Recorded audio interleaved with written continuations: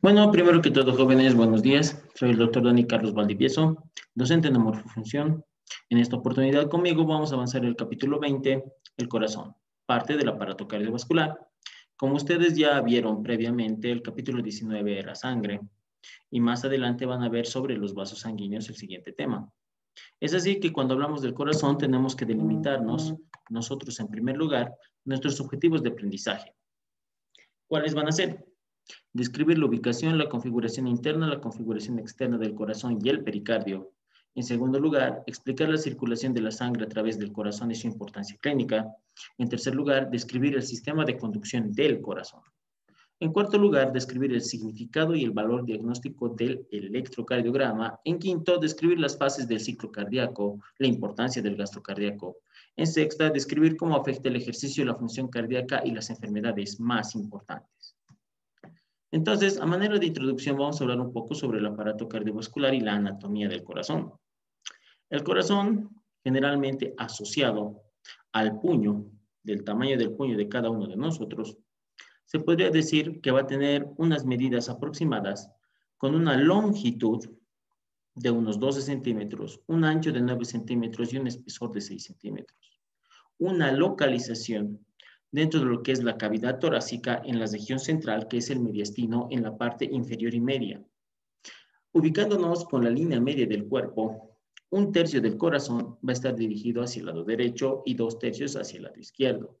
Va a tener la forma de un cono, cuya base va a ser dirigida posteriormente y cuyo vértice va a ser dirigido anterior, inferior y hacia la izquierda. Por lo tanto, nosotros vemos que el corazón a nivel del vértice va a estar representado por una de sus cámaras, que es el ventrículo izquierdo. A nivel de la base, también por otra cámara, principalmente, que es la aurícula izquierda. El corazón va a tener bordes, va a tener caras. Su cara anterior va a estar en relación con el esternón y las costillas, representado principalmente por la aurícula y el ventrículo derecho sobre todo. Vamos a tener que su cara inferior va a ser la que se va a apoyar en el tendón central del diafragma es decir, el músculo diafragma. Esta su cara inferior va a estar representada por el ventrículo izquierdo y por el ventrículo derecho. También nos vamos a encontrar con sus dos bordes pulmonares, borde pulmonar derecho o borde pulmonar izquierdo. Y a su vez nosotros nos vamos a encontrar también con lo que va a ser la cobertura que lo envuelve por fuera. Esta envoltura va a ser membranosa y va a estar representada principalmente con lo que es el pericardio. El pericardio va a ser de dos tipos, dos tipos. Vamos a hablar en primer lugar de un pericardio fibroso y de un pericardio seroso. El pericardio fibroso que se encuentra por afuera y que lo mantiene en su posición, en su ubicación, bien localizado, uniéndolo principalmente hacia el diafragma inferiormente. Este pericardio fibroso que va a estar conformado por tejido conectivo denso e irregular, que a su vez va a tener por dentro un pericardio seroso. Este pericardio seroso va a tener dos capas, como podemos ver aquí en la imagen.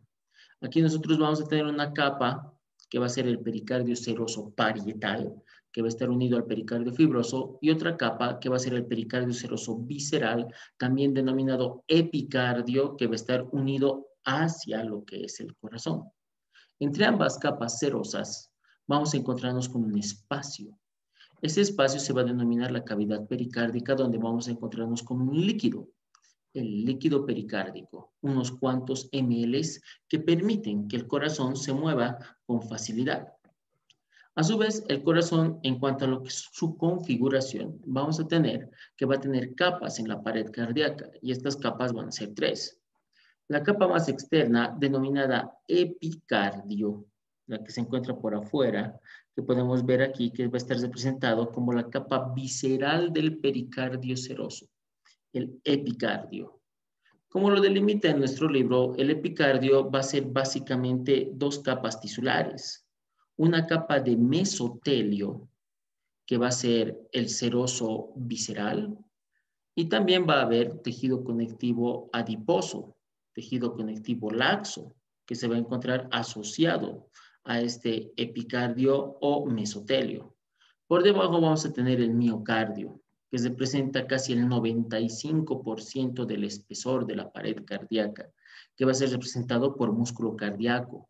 Y obviamente el tejido conectivo que va a estar ahí, que va a ser el perimicio, el endomicio.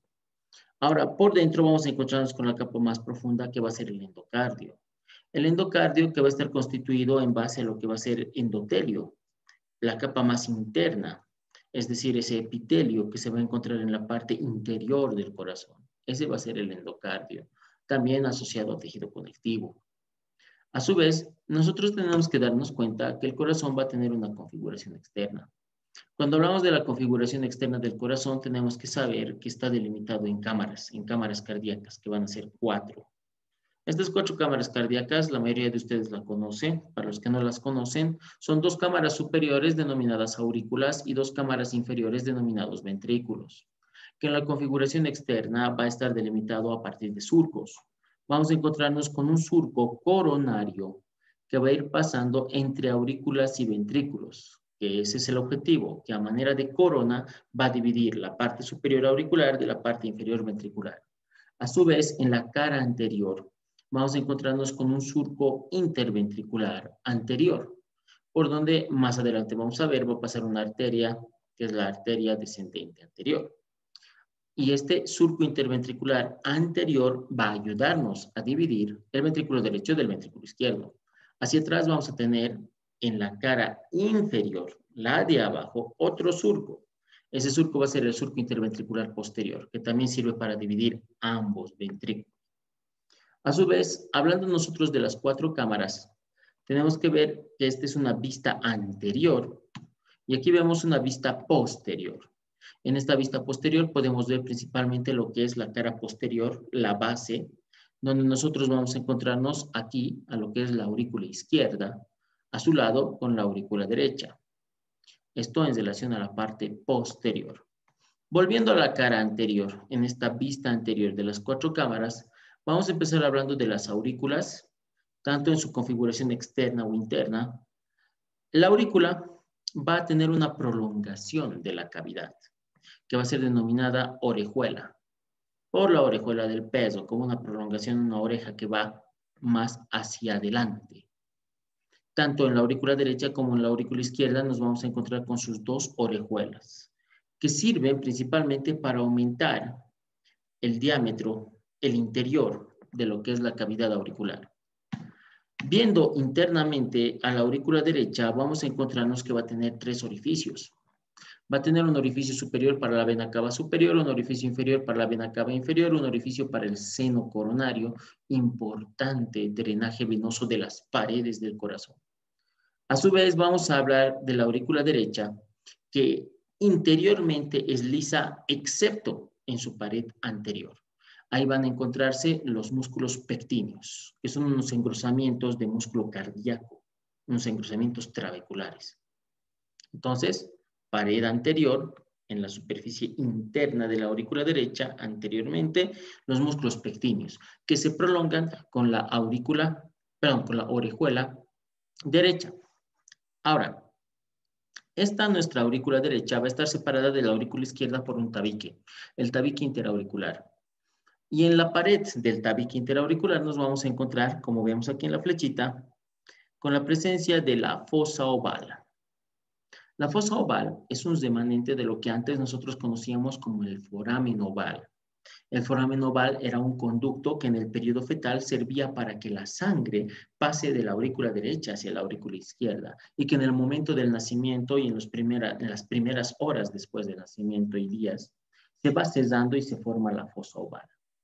La aurícula derecha, después de haber recibido sangre de las venas, va a tener que mandarlas hacia el ventrículo derecho pero para mandarlas hacia el ventrículo derecho va a pasar por un orificio, el orificio aurículo ventricular, entre aurículo y ventrículo derecho, donde nos vamos a encontrar con una válvula, la válvula tricúspide, tricúspide por tener tres cúspides, tres cúspides o tres valvas.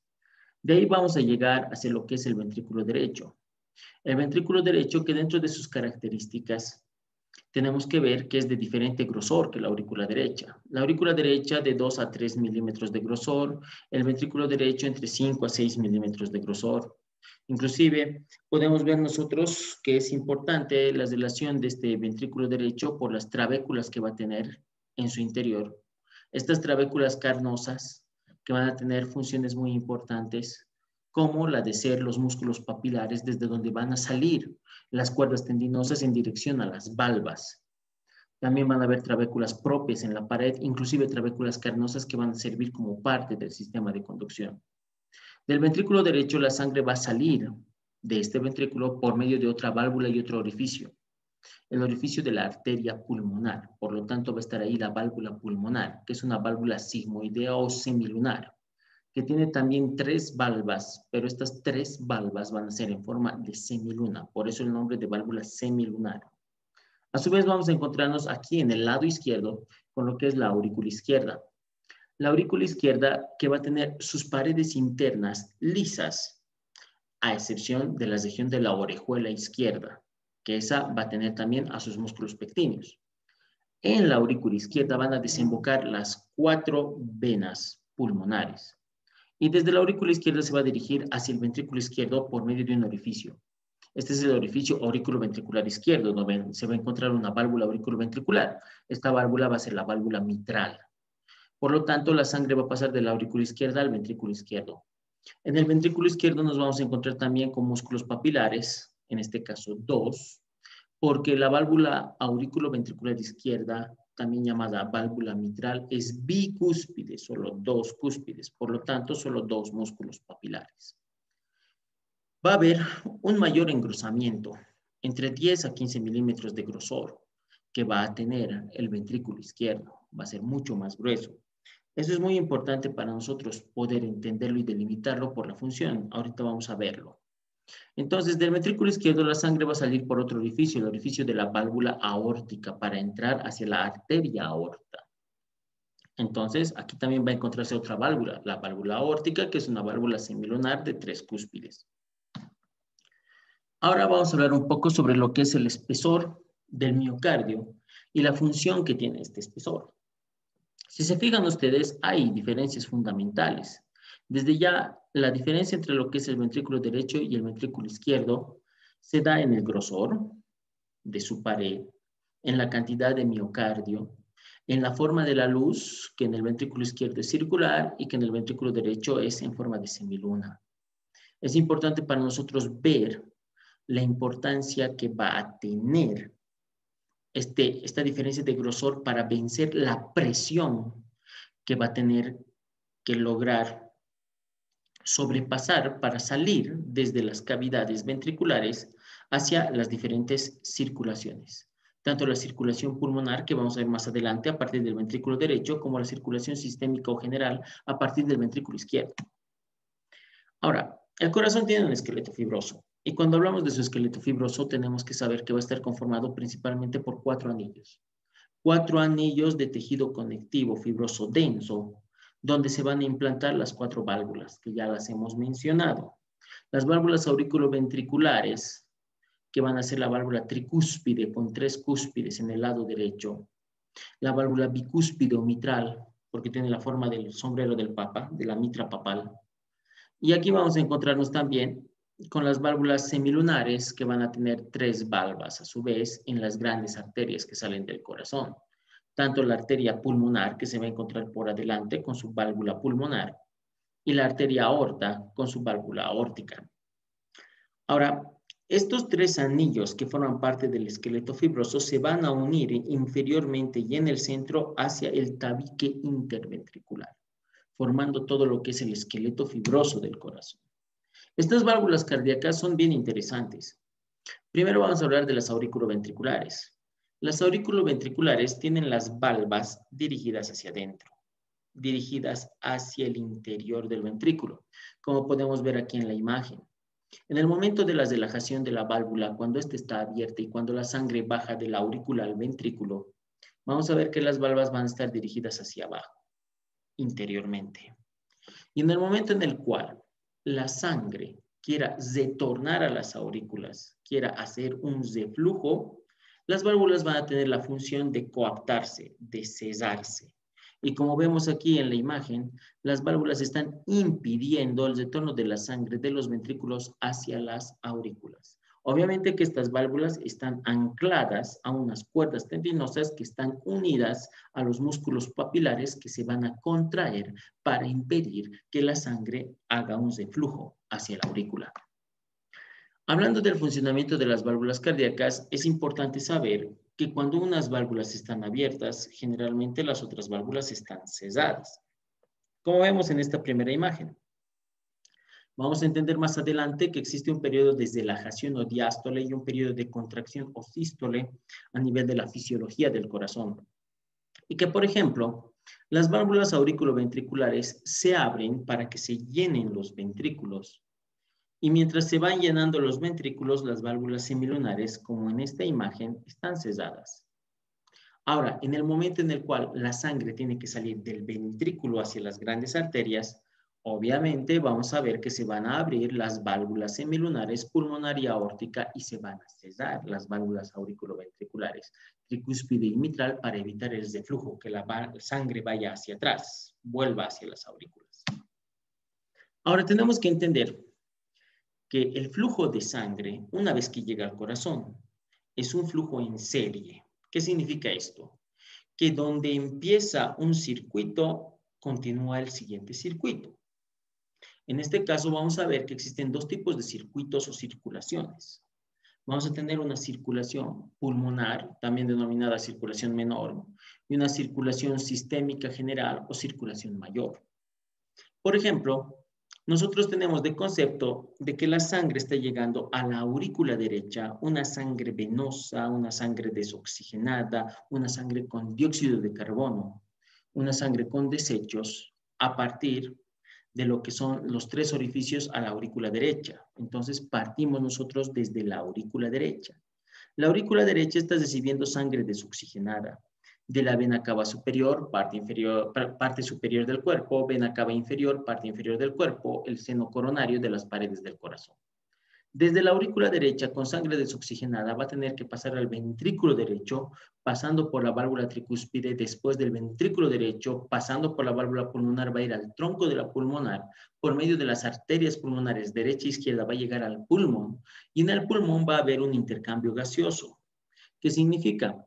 Que el dióxido de carbono de los desechos de las células va a irse hacia afuera en la expiración y que gracias a la inspiración del pulmón el oxígeno va a saturar la sangre y la sangre que va a salir del pulmón por las cuatro venas pulmonares va a ser una sangre oxigenada. Esta sangre oxigenada va a ir por las cuatro venas pulmonares llegando a la aurícula izquierda. Entonces, desde la aurícula derecha hasta la aurícula izquierda, estamos viendo que ha ido de sangre desoxigenada a sangre oxigenada y esa es la circulación menor o pulmonar. Objetivo, oxigenar la sangre, aurícula derecha hasta aurícula izquierda. Ahora, a partir de la aurícula izquierda, la sangre oxigenada baja por lo que es la válvula mitral hacia el ventrículo izquierdo.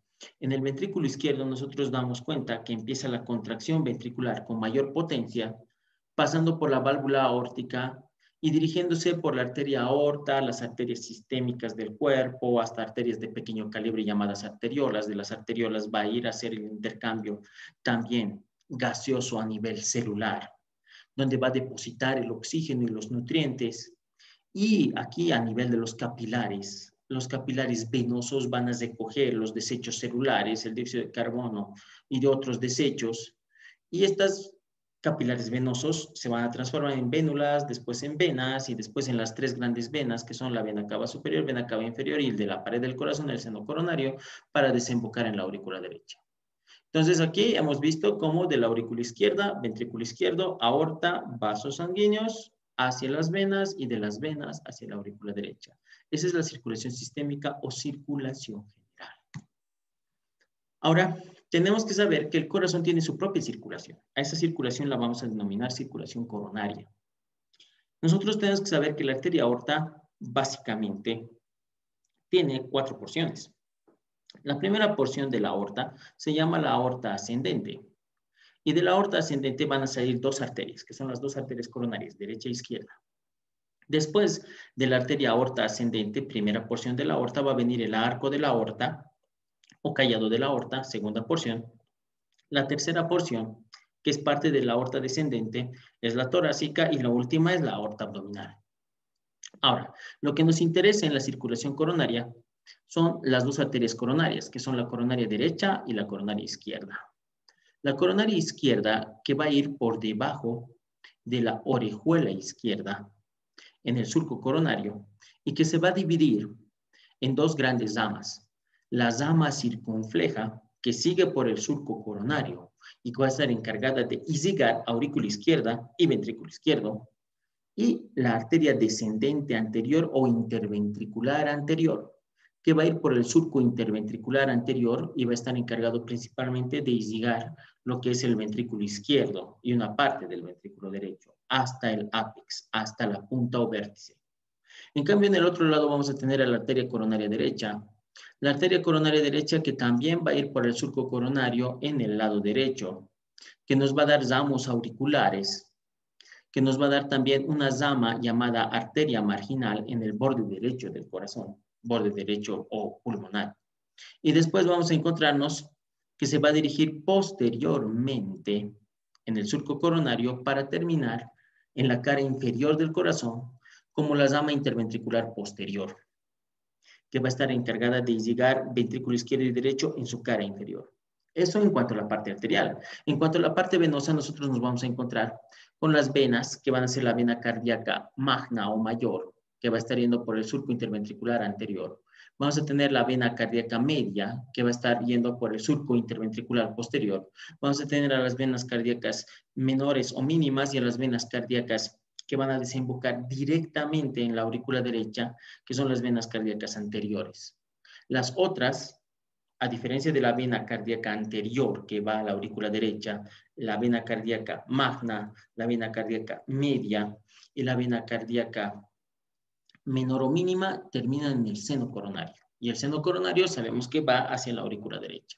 Recordar que un seno venoso no tiene músculo liso en su pared. Eso es importante. Ahora, hablando de la histología cardíaca, vamos a ver varias características importantes. A diferencia de las células o de las fibras del músculo esquelético, nosotros tenemos que saber que las fibras cardíacas van a estar agrupadas con mayor cantidad de mitocondrias en su interior, con uno, a veces dos núcleos en su interior, con un retículo sarcoplásmico en menor cantidad y menor disposición de lo que va a ser el retículo sarcoplásmico del músculo esquelético, y que va a tener como puntos de unión una diferencia fundamental con las fibras esqueléticas, porque aquí vamos a encontrarnos con los discos intercalados o intercalares. Estos discos intercalares tienen una capacidad de tener dos tipos de unión, una unión en desmosoma y una unión comunicante. La unión comunicante muy importante para permitir el flujo de los potenciales de acción, cuando hablemos nosotros de la contracción cardíaca. A su vez, Viendo un poco más internamente la histología cardíaca, analizando el flujo de lo que va a ser la fibra del músculo cardíaco, principalmente de uno de los cationes más importantes, que va a ser el calcio, tenemos que saber que su retículo sarcoplásmico, repito, no es tan desarrollado como en el músculo esquelético. Por lo tanto, no depende tanto del calcio intracelular, sino más bien del calcio extracelular, que es importante. Sus túbulos transversos van a encontrarse a nivel de lo que son los discos Z. En la sarcómera, la sarcómera es similar a la del músculo esquelético, va a tener su línea M, su zona H, sus discos Z a ambos lados, su banda A, su banda I y toda la configuración que nosotros ya conocíamos anteriormente. El fenómeno de la contracción es similar,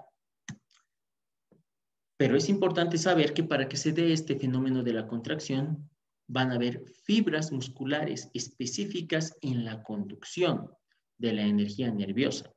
Este va a ser el sistema de conducción que va a tener el corazón.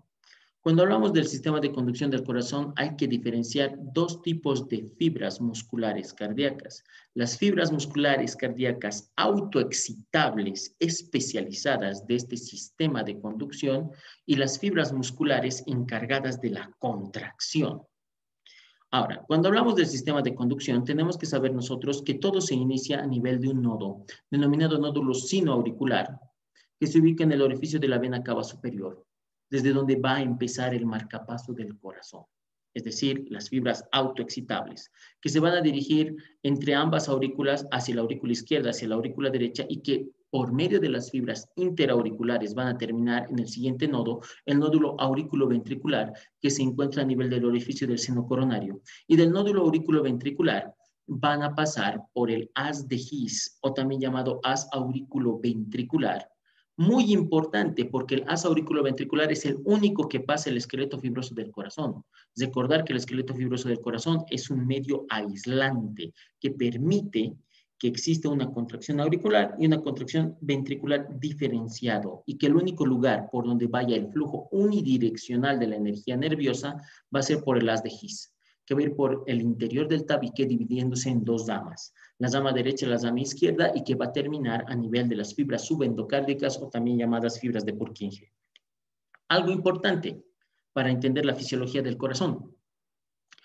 Estas fibras del sistema de conducción van a tener un potencial de membrana en reposo, el cual va a ir fluctuando, no va a ser muy estable como en las fibras del músculo cardíaco que hacen la contracción. Por lo tanto, en base a los canales que van a existir de sodio, vamos a ver unos potenciales de marcapaso, como vemos aquí en la flecha, que van a superar el umbral y van a desencadenar un potencial de acción de manera espontánea. No necesitan jefe, no necesitan de otro nervio que les dé la orden. No, estas son autoexcitables. De manera espontánea se va a generar el potencial de acción y este potencial de acción va a generar sus periodos de despolarización, depolarización y así sucesivamente vamos a encontrar nosotros con cada uno de los momentos en los cuales va a generarse la energía nerviosa en el corazón. Obviamente que estos potenciales de marcapaso que generan los potenciales de acción van a ser los encargados de hacer la contracción de las otras fibras, de las fibras musculares cardíacas. Entonces, las fibras del sistema de conducción comandan a las fibras del músculo cardíaco para la sístole auricular y la sístole ventricular. Entonces, vamos a analizar un poco sobre el potencial de acción de las otras fibras, no de las autoexcitables, sino de las fibras musculares cardíacas, de la mayoría, de las que hacen la contracción. Estas van a tener tres momentos un primer periodo de despolarización, un segundo periodo de plató o meseta, un tercer periodo de depolarización. En la despolarización, la despolarización se genera en el potencial de acción de la fibra muscular cardíaca cuando ha existido un potencial de marcapaso previo por la fibra del sistema de conducción. Entonces, sistema de conducción lanzó su marcapaso, su potencial de marcapaso, se generó el potencial de acción. Este potencial de acción inició con una despolarización generada por el ingreso del sodio, por la apertura de los canales de sodio de voltaje. Se abren los canales de sodio rápidos de voltaje, ingresa el sodio al interior de la célula porque es electronegativo, aumenta el voltaje, supera el umbral, llega hasta lo máximo que es más 20 milivoltios y de ahí empieza a descender nuestro periodo de despolarización. ¿Por qué desciende? Porque se empiezan a abrir los canales de potasio. Los canales de potasio hacen que empiece el descenso. Y si se fijan, está llegando a descender aproximadamente a 0 milivoltios. Pero ¿y por qué se mantiene en cero? Porque aquí se da el periodo de meseta, que es una despolarización sostenida. Porque en el momento que se han abierto los canales de potasio y el potasio está empezando a salir, ingresa el calcio. Porque se abren los canales de calcio y estos canales de calcio lentos se abren y se mantienen abiertos durante mucho tiempo justo en el momento que se han abierto también los de potasio. Por lo tanto, potasio va, calcio ingresa, entonces todo se mantiene en cero y se mantiene en meseta. Ahora, esto es hasta que se cierren los canales de calcio. Se cierran los canales de calcio y se produce la depolarización debido al cierre de los canales de calcio y a la salida de potasio cuando se abren los canales de potasio con compuerta de voltaje. Entonces, esto es parte del fenómeno del ciclo de la contracción y el potencial de acción. Pero estos potenciales de acción y esta energía eléctrica pueden ser transmitidos por medio del electrocardiograma.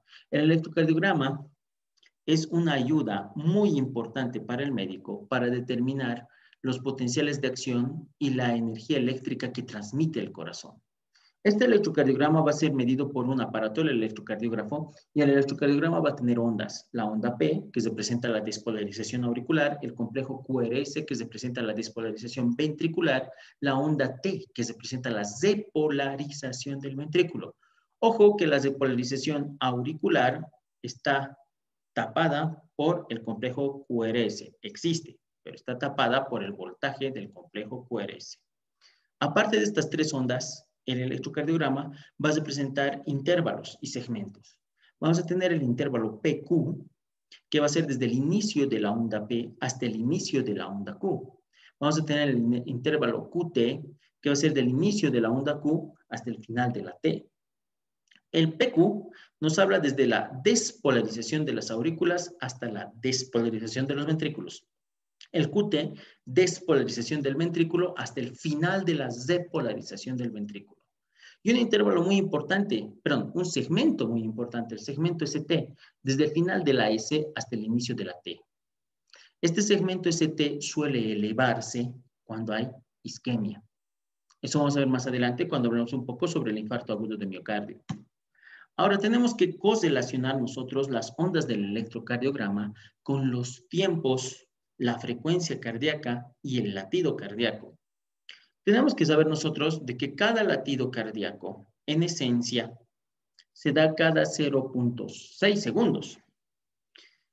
Ahora, nosotros en nuestro cuerpo tenemos dos sistemas que regulan estos latidos cardíacos, que son parte del sistema nervioso autónomo, el simpático y el parasimpático. El sistema nervioso parasimpático, comandado principalmente por el nervio vago, va a dar un poco más de tiempo va a enlentecer esta frecuencia cardíaca, que en esencia el marcapaso, el nódulo sinusal te lo da a 100 latidos por minuto, hace que exista cada latido cada 0.8 segundos. Eso representa a 75 latidos por minuto, que lo vamos a demostrar ahorita aquí. Por ejemplo, fíjense que todo inicia con el potencial de acción que se ha desencadenado en el nódulo sinusal dando la onda P. Primer paso. Esto se da en 0.33 segundos, 0.03 segundos, perdón, 0.03 segundos. Y desde aquí, el segundo paso vamos a tener la sístole auricular, la contracción. Algo importante, despolarización no es contracción, son cosas diferentes. Se despolariza primero y después recién se contrae la aurícula. Se contrae en el segundo paso sístole auricular, la contracción de las aurículas.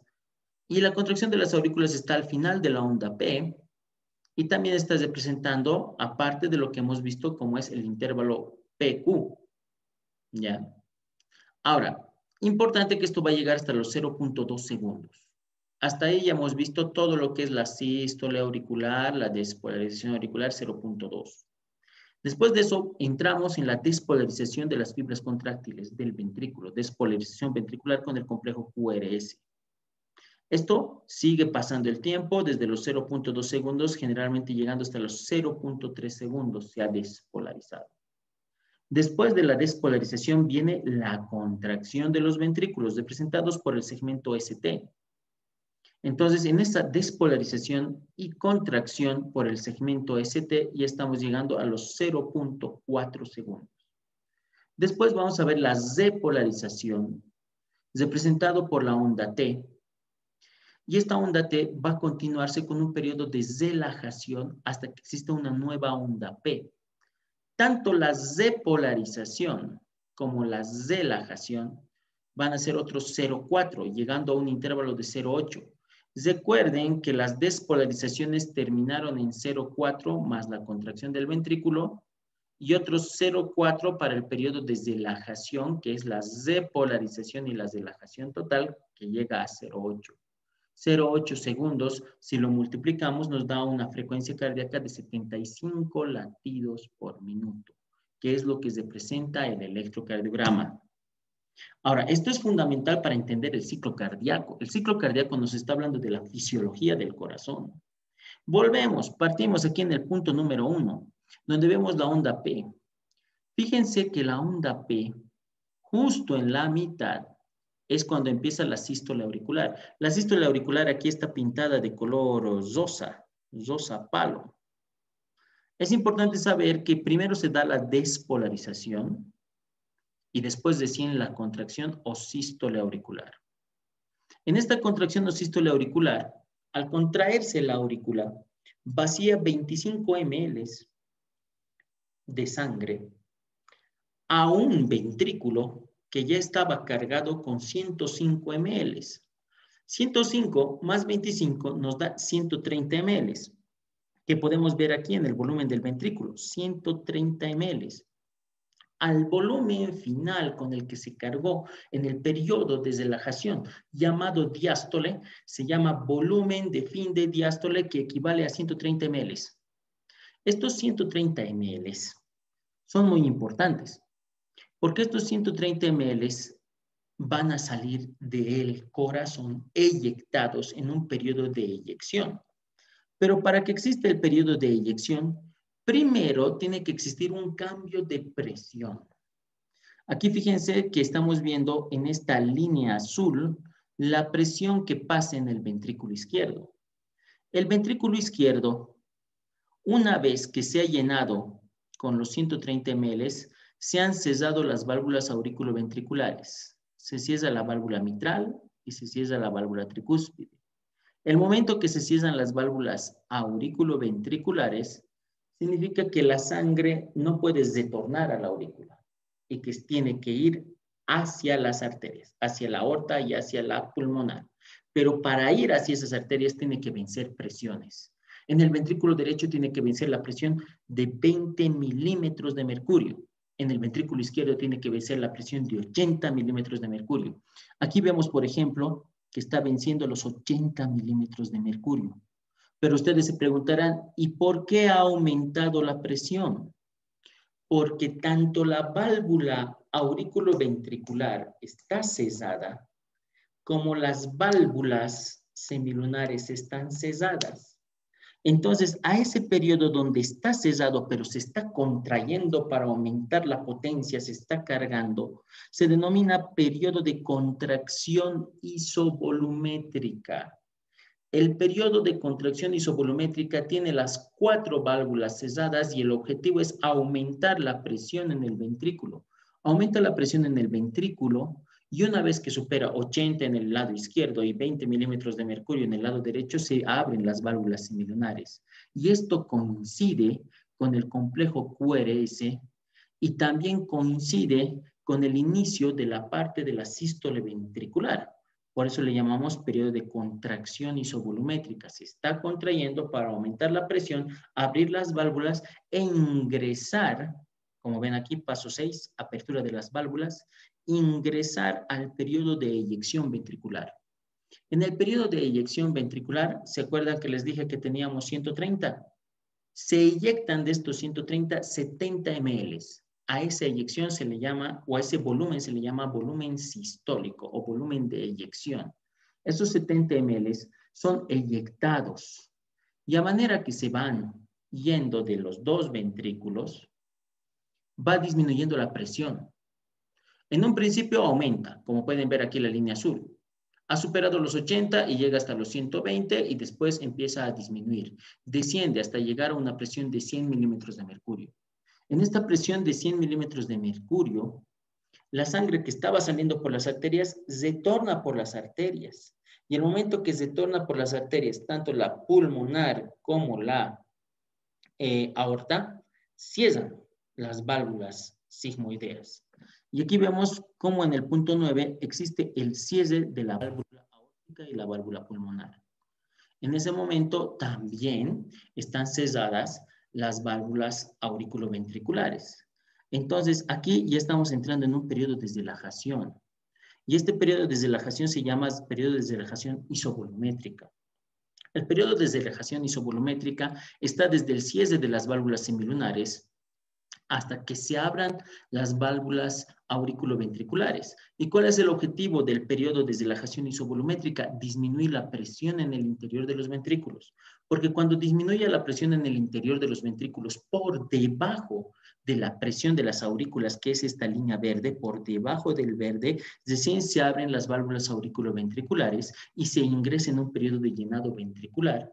Este periodo de llenado ventricular es un periodo de llenado ventricular pasivo y este llenado ventricular se va a dar hasta que empecemos de nuevo con la contracción auricular generado por la onda P. Y este es el ciclo cardíaco. A su vez, cuando analizamos el corazón tenemos que saber que existen ruidos cardíacos. Estos ruidos cardíacos son básicamente cuatro ruidos cardíacos. El R1 y el R2 son audibles. Es lo normal. R1, loop, R2, dup, loop, dup.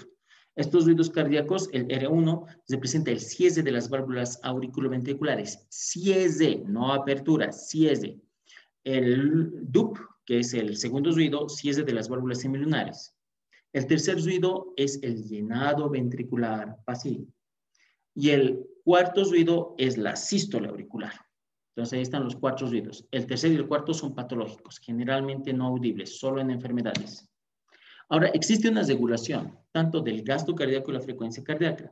Ustedes dirán, pero eh, eh, eh, ¿qué es el gasto cardíaco? El gasto cardíaco, o también denominado el volumen minuto que se maneja, es de, se saca en base a una ecuación, en la cual vamos a multiplicar nosotros la frecuencia cardíaca por el volumen sistólico para dar el gasto cardíaco. ¿Cuánto era nuestra frecuencia cardíaca? 75 latidos por minuto. ¿Cuánto era nuestro volumen sistólico? 50, mm, perdón, volumen sistólico 70 eh, ml que salían en sístole, esa eyección. 70 por 75 nos da un poco más de 5 litros, 5.125 ml. Entonces, tenemos nosotros ahí esos 5 litros de gasto cardíaco que son equivalentes a la cantidad de sangre que nosotros manejamos en nuestro cuerpo. El gasto cardíaco está delimitado principalmente por la frecuencia cardíaca y el volumen sistólico. Frecuencia cardíaca, ya hemos dicho, 75 latidos por minuto, volumen sistólico 70 ml, volumen de eyección. Existen varios centros de control. Por ejemplo, vamos a tener el principal centro de control que se va a encontrar a nivel del bulbo raquídeo, que va a tener tanto aferencias como eferencias. Aferencias desde centros cerebrales superiores, corteza cerebral, sistema límbico, hipotálamo, y desde receptores sensitivos, propioceptores, quimioceptores y receptores, y que va a salir por parte del sistema nervioso autónomo, por los nervios cardíacos, que como eferencia van a ir y van a estimular al nódulo sinoauricular y al nódulo auriculoventricular para aumentar la frecuencia cardíaca. Van a ir también a las fibras cardíacas por el sistema nervioso simpático para aumentar la contracción, fuerza, potencia, inotropismo cardíaco. Eso por el simpático. Y por el parasimpático, por medio de los nervios vagos, van a disminuir la frecuencia de despolarización del nódulo sinoauricular y nódulo auriculoventricular, principalmente afectando la frecuencia cardíaca. Es así que para regular nosotros el gasto cardíaco tenemos que poder regular tanto el volumen sistólico y la frecuencia cardíaca. El volumen sistólico se regula en base a tres parámetros. Estamos hablando de tres que van a ser la precarga, la contractilidad y la poscarga. Estos regulan el gasto cardíaco. Precarga, ¿a qué me refiero? Al grado de distensión o estiramiento de nuestros ventrículos. Hablando de que los ventrículos van a depender de su gran distensibilidad y elasticidad, como si fuera una cinta elástica, que mientras más lo estiras, más fuerte se contrae. Entonces, a mayor precarga, mayor volumen sistólico. Esa es la ley de Frank Starling. Otro que altera el volumen sistólico y aumenta y aumenta el gasto cardíaco es la contractilidad. La contractilidad encargada por la fuerza de la propia fibra cardíaca. Aquí tenemos agentes inotrópicos positivos que estimulan, por ejemplo, el ingreso de calcio, como pueden ser la adrenalina, la noradrenalina, que tienen ese efecto inotrópico positivo. Cuando digo inotrópico positivo, aumenta la contracción. También tenemos la poscarga, que es la fuerza o la presión que tiene que vencer para que pueda salir la sangre de los ventrículos. ¿Se acuerdan, no? Habíamos dicho 80 milímetros de mercurio para que se abra la aorta, 20 milímetros de mercurio para que se abra la pulmonar. Entonces, la poscarga, para que se aumente el volumen sistólico, tiene que estar disminuida. Entonces, la disminución de la poscarga aumenta el volumen sistólico y todo aumento del volumen sistólico aumenta el gasto cardíaco. A su vez, la frecuencia cardíaca va a estar regulada por el sistema nervioso, por sustancias químicas y por otros factores. Ah, dentro de estos factores, la frecuencia cardíaca mucho depende de la edad. Los lactantes, por ejemplo, pueden vivir con frecuencias cardíacas de 120 o más. También podemos ver el sexo, también podemos ver el hábito corporal, la temperatura, si es que el paciente es obeso o no es obeso, factores modificables y no modificables. Eso, a grandes rasgos, en parte lo que es el corazón. Ahora, hay ayuda para corazones insuficientes. Existen corazones que no hacen el trabajo de la manera óptima y entran en insuficiencia cardíaca, por lo tanto es necesario, sea por patología isquémica, porque haya sufrido daño, isquemia, falta de oxígeno, falta de nutrientes, por una obstrucción, un infarto o cualquier otra enfermedad, va a existir el trasplante cardíaco. En el trasplante cardíaco, que ya se ha desarrollado un poco más en otros países ya con mayor tecnología, donde se ve que se puede utilizar de pacientes que recién acaban de fallecer o con muerte cerebral y poder dar a otros pacientes ese corazón para que pueda continuar con su vida, a esos pacientes que tienen insuficiencia cardíaca terminal. Para terminar ya el tema, vamos a hablar un poco del desarrollo del corazón, sabiendo de que el corazón se empieza a desarrollar a los 19 días, en una área denominada área cardiogénica en el mesodermo, y que a los 20 días van a existir ya los tubos endocárdicos y que a los 21 días va a haber un tubo cardíaco primitivo y este tubo cardíaco primitivo se va a desarrollar hasta formar lo que es el tronco arterioso, el bulbo cardíaco, el ventrículo primitivo, la aurícula primitiva y el seno venoso. El tronco arterioso para las grandes arterias, aorta y pulmonar, el bulbo cardíaco que va a representar principalmente el ventrículo derecho, el ventrículo primitivo, el ventrículo izquierdo, la aurícula primitiva, la aurícula derecha, y el seno venoso también formando parte de lo que es la aurícula derecha. En la, aquí vamos a ver también a las grandes venas, ¿no? No solo la aurícula derecha, sino que también van a estar ahí las grandes venas, vena cava superior, inferior y el seno coronario. Y dentro de los desequilibrios homeostáticos, mis últimas palabras, hablar de las grandes enfermedades, la enfermedad coronaria, cuando existe una obstrucción por placas de teroma, placas de grasa, que impiden el flujo sanguíneo adecuado y óptimo y que puede generar un infarto agudo de miocardio con una lesión eh, de las paredes del corazón, generando asidmias, que son alteraciones en el sistema de conducción que pueden llegar a la muerte del paciente.